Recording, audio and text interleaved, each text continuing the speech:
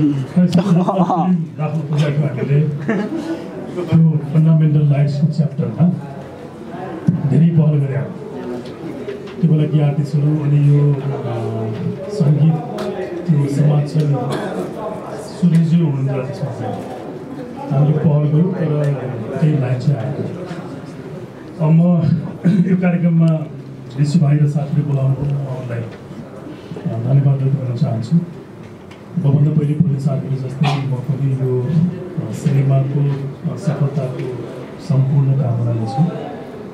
र म व्यक्तिगत रूपमा यहाँहरूले पनि ऋषिलाई चिन्नुहुन्छ माया गर्नुहुन्छ। त्योभन्दा झन् बढी मैले चिन्छु मेरो भाइ नै हो ऋषि छ।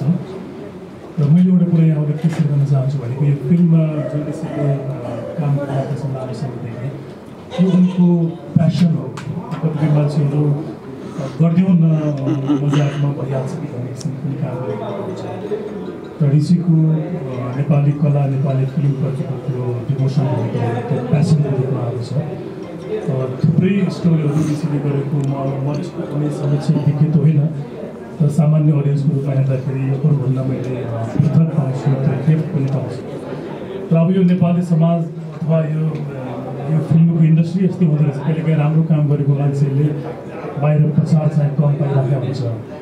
र सामान्य वा क्वालिटीको काम नगर्ने मान्छेले बाहिर प्रचार चाहिँ बढी पाइरहेको हुन्छ। सायद यो नियति प्रभाव हुन्छ जस्तो लाग्छ मलाई।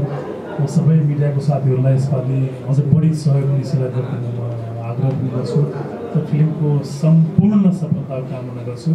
र त्यो भाइ मेरो भाइसँग चाहिँ उसको एकदम ट्यालेन्ट छ भित्र उसको यो सुप्रति चाहिँ उसको त्यो प्यासन हो।